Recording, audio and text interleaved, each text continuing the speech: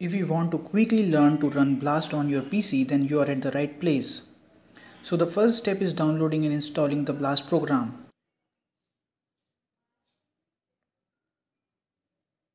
Go to NCBI Blast download page and click on download Blast executables.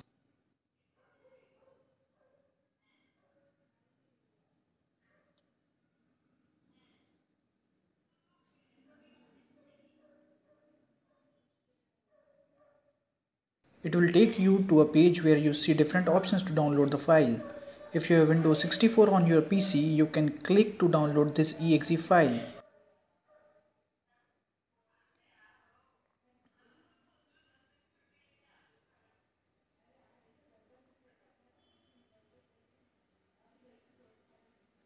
Now install the program.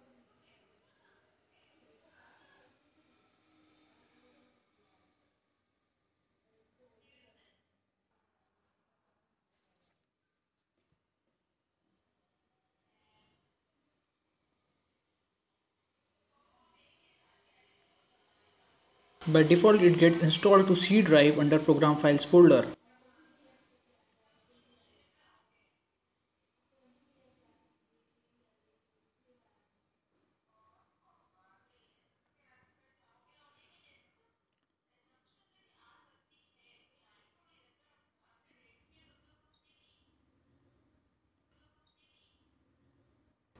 Open the command prompt and run as administrator.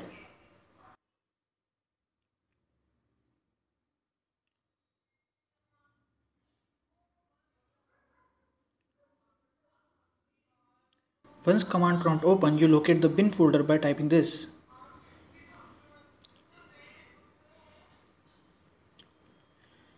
Using blastx-h, you check if the program is running correctly or not. Next step is creating a BLAST database. This database is a custom database which you can use to search similarity for your query sequence. For this you need a file containing sequence in the FASTA format and copy all these files in the bin folder. Again go to command prompt and run as administrator.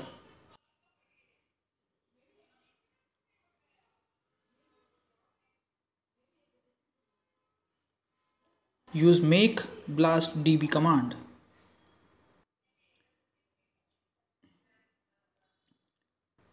In shows input file whose database needs to be created. In this case db.fa.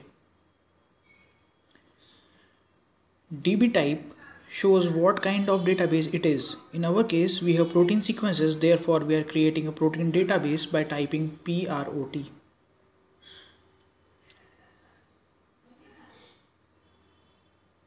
Dash out tells by what name you want to create the database and hit enter.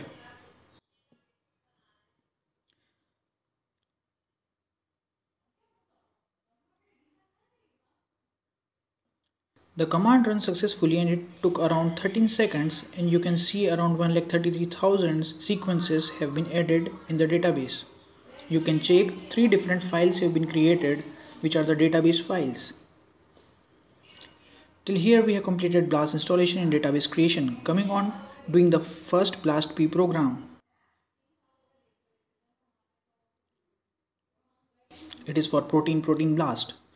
Dash query after which you write the name of your query file which contain the FASTA formatted sequences dash db after which you type the database name dash out after which you type the name of your output file out fmt6 tells that it is a tabular format. And e value is set to 10 to the power minus 5 maximum number of target sequences are set to 1 so that you can get only one top hit. You see the run has been completed here the results are shown in the text file. You can also export it into the excel file